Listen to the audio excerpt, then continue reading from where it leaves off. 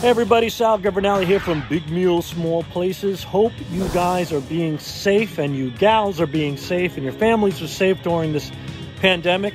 Um, we're breaking the rules a little bit on Big Meal Small Places. No toaster ovens. Use them if you want.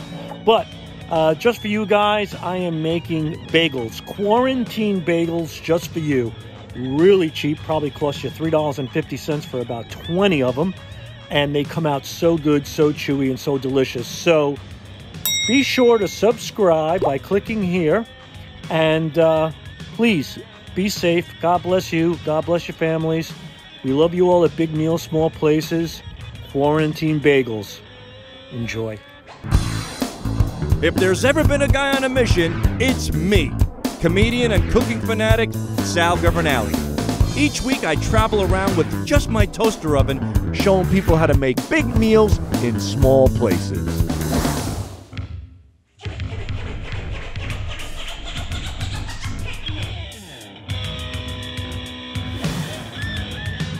Okay, two cups of flour in your KitchenAid mixing bowl, and then you're going to take a quarter teaspoon of yeast, throw that in there as well, and then a good squeeze of good honey, about a tablespoon of that. And from there, about a cup and a quarter of lukewarm water. Give that a good mix. It's going to be nice and sticky and pasty. And you're going to leave that out covered, room temperature, from anywhere from 8 to 24 hours. I make it at night and then I cover it, and then, and then in the morning, you are ready to make bagels. That's called your starter. Look at it here. Here is the next morning. It's like a souffle. It's beautiful. And now you're ready to add your other ingredients on top of that starter. So you're going to add in three, three and a half cups of flour. From there, you're going to add in a tablespoon of kosher salt. Then we're going to add two teaspoons of yeast to that. And then again, a nice good squeeze of honey. That's the secret ingredient right there. The yeast feeds off that honey.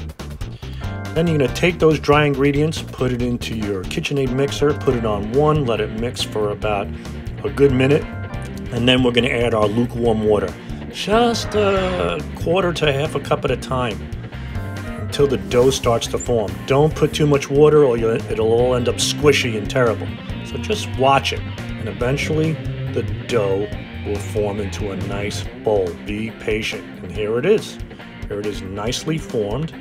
Take it out. Give it uh, on a nice clean counter. Give it a fold.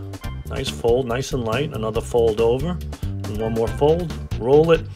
Lightly coat it with olive oil. Put it into a pan and then cover it with saran wrap from anywhere from an hour and a half to two and a half hours. You want that thing to double in size. Now, set your oven 500 degrees at bake, and while the dough is rising, the oven is, is getting hot. There it is. The dough is ready. It's been two hours.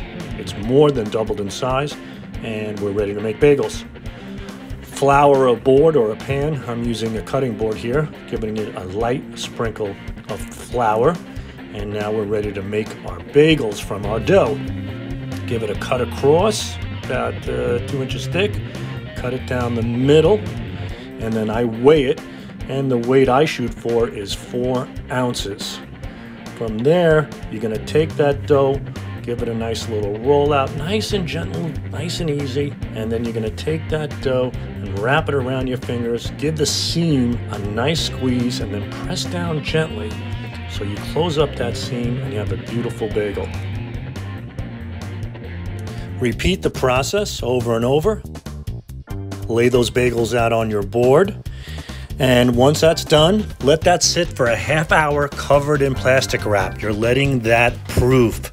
Then boil water in a large pot with a tablespoon of kosher salt. Take the bagels, drop in three at a time, one minute each side. Take them out and then season them in your favorite seasoning. Slide them in the oven, temperature change to 425 for 20 to 24 minutes. Take those bagels out and you're done. You could cook the bagels on a pizza stone or in a uh, simple pan. Enjoy.